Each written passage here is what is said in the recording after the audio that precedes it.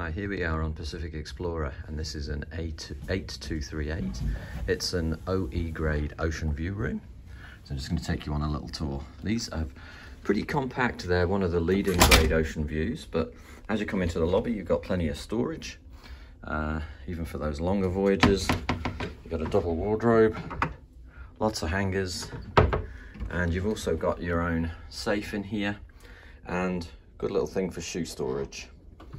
And then immediately in the lobby, got this little makeup area. Into the bathroom, these are, are, incredibly compact, but they've got everything you need. So you've got your loo, you've got a single sink, and you've got a shower with the dreaded shower curtain.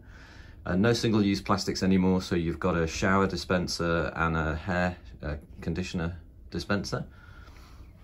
And some towels. And then uh, there you have it. This is the actual room. So let me just take you around. Um, underneath the bed, oh, there's a little welcome towel animal. Um, under the bed, you've got plenty of storage for suitcases. Under here, um, this is an older ship. So by the side of the bed, no power points, um, no charging sockets.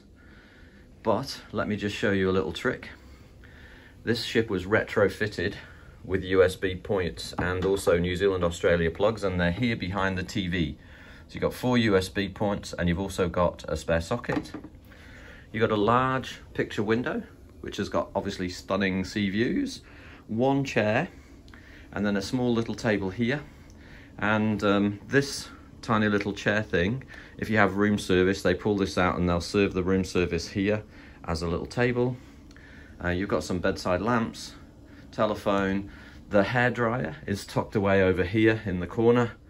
Um, and you can actually buy bottled water, but you really don't need to. It's um, desalinated water on the ship and you can actually drink it straight from the tap. Kind of a little window seat area here as well. Um, please note the window does not open, but it does lean out, so it actually gives you quite a bit more room.